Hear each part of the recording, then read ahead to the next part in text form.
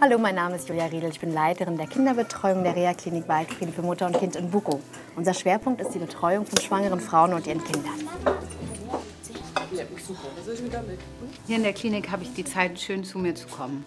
Meine Tochter ist super betreut und ich habe abends noch viel Zeit, die ich mit ihr zusammen verbringen kann. Mit der Hilfe von fast 400.000 Euro der Deutschen Fernsehlotterie konnten wir unser Kinderhaus, die Murmelburg, bauen. Hier haben die Kinder genügend Platz zum Spielen, Basteln und Toben.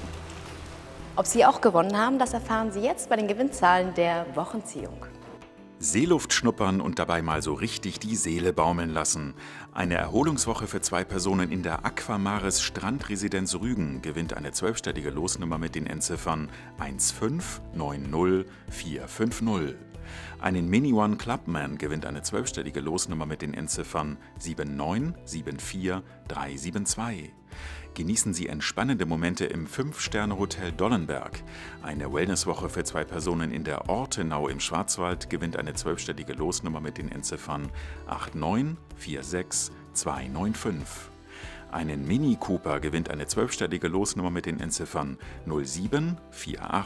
0748197 und 100.000 Euro gewinnt das Los mit den Endziffern 9778613. Herzlichen Glückwunsch und nicht vergessen, kurz vor der Tagesschau sehen Sie die nächsten Gewinner bei der Prämienziehung für das Megalos.